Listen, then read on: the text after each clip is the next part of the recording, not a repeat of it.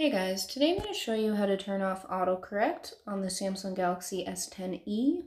Alright, so the first thing you're going to do is go into your apps. So you're going to swipe up on the screen, now go to settings.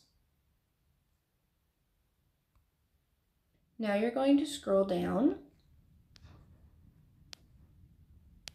and go to general management. It says language and input, date and time, and reset. Now you're going to go to language and input and then go to on-screen keyboard. It says Google Voice Typing and Samsung Keyboard. Now go to Samsung Keyboard and then go to Smart Typing.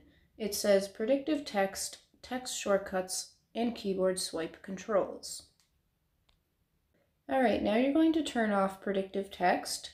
It says show predicted text based on what you've entered.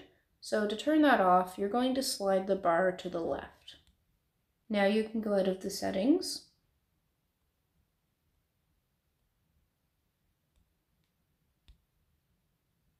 Alright, so that's how you turn off predictive text on the Samsung Galaxy S10e.